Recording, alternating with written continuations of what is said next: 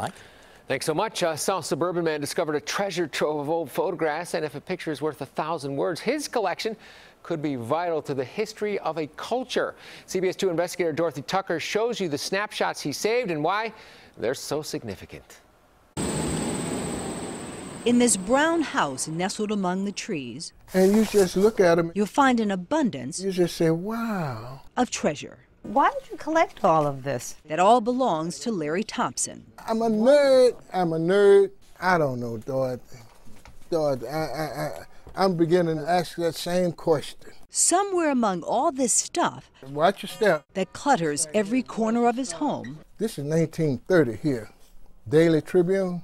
is something he considers more valuable than anything he's collected these last 50 years. Yeah, that's just a closet and they made of glass. It's just a beautiful piece.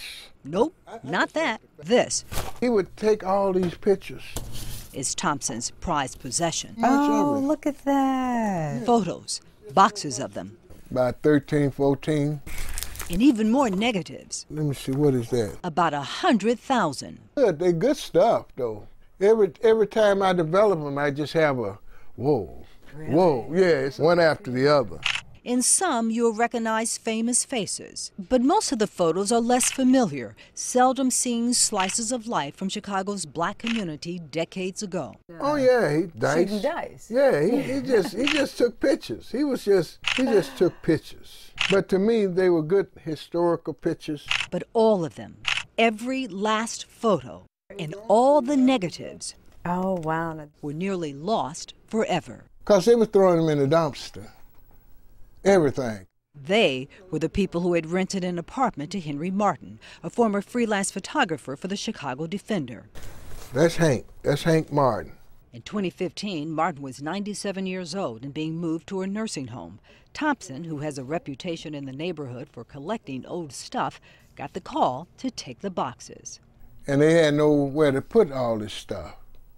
So I just brought it home. Thompson didn't know Martin at the time, but he visited him in the nursing home. He learned about his passion for photography and his love for Chicago. He took his time to take all of these photographs of people that uh, nobody would have taken if he didn't do it. The idea that all of this history was about to be destroyed makes Thompson a little emotional. I'm looking at all these pictures.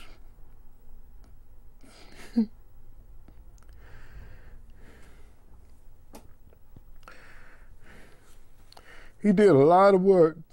it's extremely valuable. Angela Ford created a website where African Americans like Thompson can digitize old photos. This is when we were voting Republican. Her hope is to rescue as many photos as she can that may be buried in attics, basements, or closets. It's important to save these images for a sense of self and a sense of place. It allows millennials and younger generations to understand the ordinary slice of life, who we were, how we lived. Life Just life in the black community. in the black community, predominantly in Englewood, Woodlawn, West Side. Thompson's mission is to preserve the history Martin captured. He's talking about writing a book or creating a traveling exhibit to safeguard these snapshots Children playing, depicting ordinary people women at parties, doing ordinary things having breakfasts and dinners, and you know, all the good stuff, you know. so we can all hold on to history. Dorothy Tucker, CBS 2 Investigators. Now, Thompson says Martin died about a year ago at the age of 99. We reached out to the Chicago Defender. They have some of Martin's photos in their archives, and they say they're pleased to see the rest have been saved. This could be like a new Vivian Maier, where all those long lost photos were saved. Uh, who knows this, we're gonna, where we're going to see these? Maybe in a museum near you. Yeah, how special. Well, somebody has the eye like that to grab photos that are just so special.